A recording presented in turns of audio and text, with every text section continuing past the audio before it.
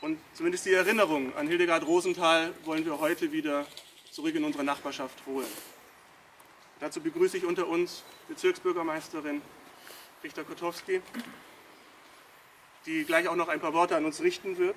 Ähm, der Bezirk begeht den heutigen Tag, der 80. Tag des, der Novemberpogrome, der 80. Jahrtag der Novemberpogrome ähm, begeht der Bezirk umfangreich mit einem Programm. Und es ist schön, dass Sie heute zu uns auch sprechen.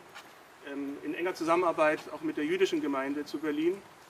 Rabbiner äh, Andreas Nachama ist heute auch unter uns.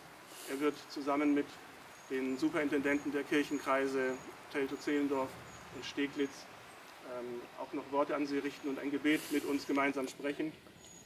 Eingebunden ist diese Stolpersteinverlegung auch eben in die Aktion Glanz.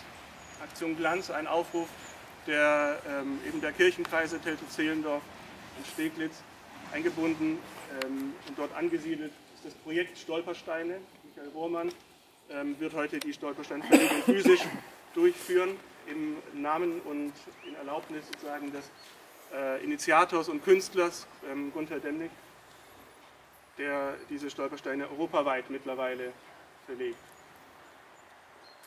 Es ist mir auch eine besondere Freude, äh, dass die junge Generation äh, heute mit dabei ist, diesen, Gestalt, diesen Tag mitgestaltet. Ähm, von der nahegelegenen ähm, GLS Harrison Schule haben wir die 11. Klasse Politik- und Geschichtskurs, ähm, die sich mit der Recherche zur Biografie Hildegard Rosenthals beschäftigt haben äh, und diese nachher auch verlesen werden. Sie sind begleitet von ihrer Schulleiterin Katrin Röschel und last but not least, und diesen Ausspruch möchte ich diesmal so betonen, wie es nur geht, ist es mir eine besondere Freude, auch äh, Ben Barko in unserer Mitte zu begrüßen. Ben Barko ist ein Familienangehöriger, der Großneffe von Hildegard Rosenthal. Er ist vorgestern aus London angereist. Und möchte mich für die Möglichkeit bedanken, dieser Stolpersteinverlegung an diesem geschichtsträchtigen Datum des 9. November beiwohnen zu können. Der 9. November mit der Ausrufung der ersten deutschen Republik 1919, dem Hitler-Ludendorff-Putsch 1923, der Pogromnacht 1938, aber auch dem Mauerfall 1989 markiert ein herausragendes Datum in der deutschen Geschichte.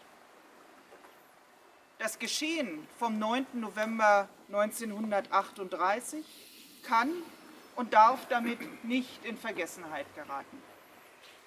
Der 9. November 1938 mit einem von den Nationalsozialisten heimtückisch in Szene gesetzten Pogrom an den jüdischen Mitbürgerinnen und Mitbürgern bleibt für alle Zeit das Symbol eines Zivilisationsbruchs.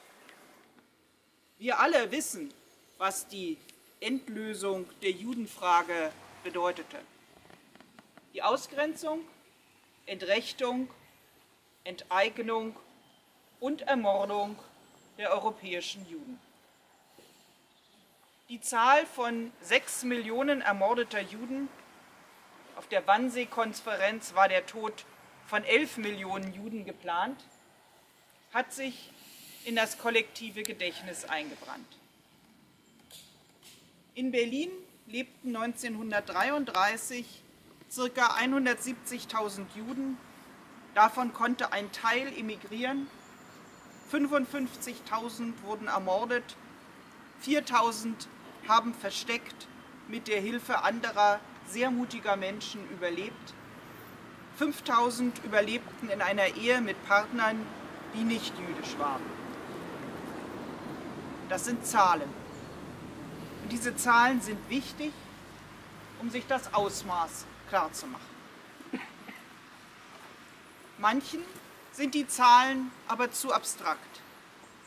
Aber hinter jeder Zahl, jeder einzelnen Zahl, verbirgt sich eine ganz individuelle Lebensgeschichte. Sechs Millionen Lebensgeschichten die ganz normal begonnen haben, die Lebensgeschichten armer, reicher, intelligenter, und weniger intelligenter, freundlicher oder weniger freundlicher Menschen. Menschen wie wir alle auch. All diese Lebensgeschichten nachzuvollziehen, ist ein ausgesprochen schwieriges Unterfangen. Einzelne Lebensgeschichten zu erfahren, berührt uns daher besonders und lässt uns die Dimension dieses Verbrechens besser verstehen. Beides ist wichtig für die Vermittlung. Die allgemeine Geschichte und die Geschichte einzelner Menschen. So eine einzelne Geschichte ist auch die von Hilde Rosenthal. Wir werden die biografischen Daten von Schülerinnen und Schülern der Geles Halversen Schule noch genauer nach der Verlegung vorgestellt bekommen. Die Stolpersteine. Sie sind klein, fast unscheinbar, aber sie halten die Erinnerung wach. Sie nennen Namen. Sie verweisen auf ehemalige Nachbarn. Oft sind sie auch Steine des Anstoßes. Als Stolpersteine erinnern sie Passanten daran, wo einst Menschen lebten, die von den Nationalsozialisten ermordet wurden. Und wir geben Menschen dadurch wieder ein Gesicht. Denn nur derjenige, der vergessen wird, ist wirklich tot. Die Stolpersteine stehen als Mahnmale gegen das Vergessen und markieren einen sichtbaren Punkt dafür, dass sich solche Ereignisse nicht wiederholen dürfen. Am 12. April 1943 werden beide von der Gestapo festgenommen. Friedrich Rosenthal kann das Jörn Kali, das beide für den Notfall bei sich haben, noch einnehmen. Hildegard wird es aus der Hand geschlagen. Sie wird nach Berlin überstellt und von der Gestapo verhört. Am 29. Juni 1943 wird Hildegard nach Theresienstadt deportiert. Nach Aussage ihres früheren Religionslehrers Leo Beck, der ebenfalls in Theresienstadt inhaftiert war, soll Hildegard dort verbotenerweise Kinder unterrichtet haben. Anderen Berichten zufolge habe sie mehrere Vorträge über das Leben in Palästina gehalten. Sie wird am 12. Oktober 1944 nach Auschwitz deportiert und dort vermutlich sofort ermordet.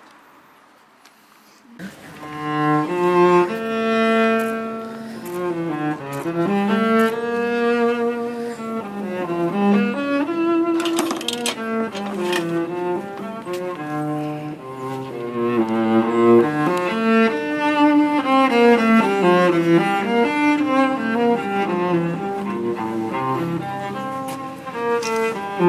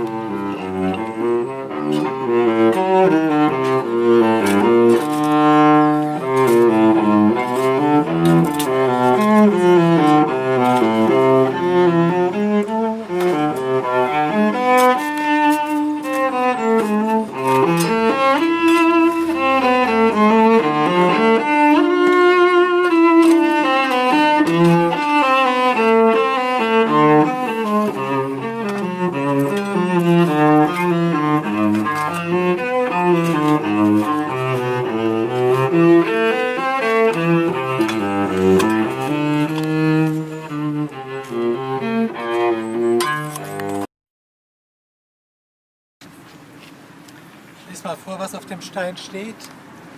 Hier wohnte Hildegard Rosenthal, geboren Laubert, Jahrgang 1896, deportiert am 26.06.1943 Theresienstadt, ermordet in Auschwitz. Wir gedenken ihrer und der sechs Millionen Männer, Frauen und Kinder, die ermordet wurden, nur weil sie Juden waren. Wir gedenken aller, die starben, als Wahnsinn diese Welt regierte und das Böse in der Welt wohnt. Wir gedenken derer, deren Namen in den endlosen Gedenklisten stehen und derer, von denen selbst der Name verloren ist.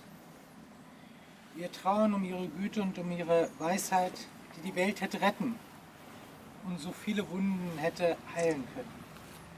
Wir Trauen um den Geist und um den Humor der ermordet wurde. Um das Lernen und um das Lachen, das für immer verloren ist.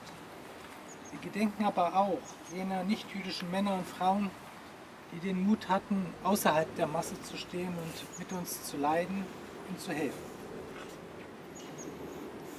Möge ihr Opfer nicht umsonst gewesen sein. Möge die Welt in ihrem alltäglichen Kampf gegen Grausamkeit und gegen Vorurteile, gegen Tyrannei und Verfolgung aus ihrem Tod Kraft schöpfen, Kraft schöpfen für ein Zusammenleben in Frieden und in gegenseitigem Respekt.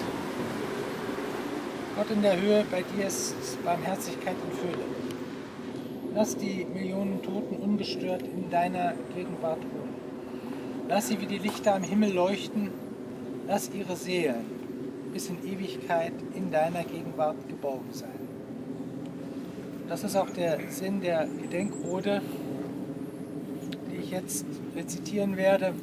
Eine Gedenkode, die im 13. Jahrhundert zur Zeit der Kreuzzüge und während des 14. Jahrhunderts beim Schwarzen Tod, also bei den großen Pestwellen, von jüdischen Gemeinden in Europa für die damaligen Opfer gesungen wurde, die aber auch äh, gesungen wird für jeden Einzelnen, der verstorben ist und den wir hier für die Opfer der Shoah, also auch für Hildegard Rosenthal, sprechen.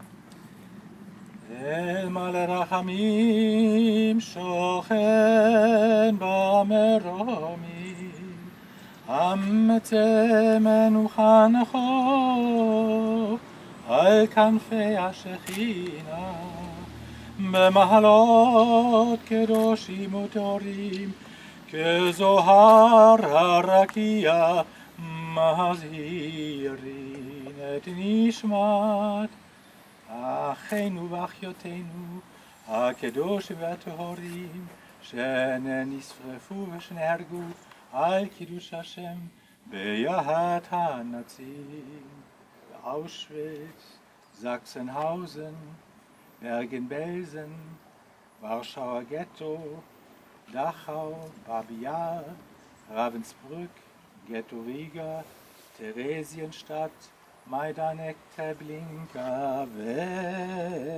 Hildegard Rosenthal, Bahavu, שאנו מתפללים ואת הזכרת נשמתם. לכן, לכן, לכן בעל הרחמים יסתירם בסתר כנפיו לעולמים, ויצרור בצרור החיים את נשמתם בגן עדן תהיה מנוחתם. אדוני הוא נחלתם, וינוחו בשלום על משכבם, ונאמר, ונאמר, אמן.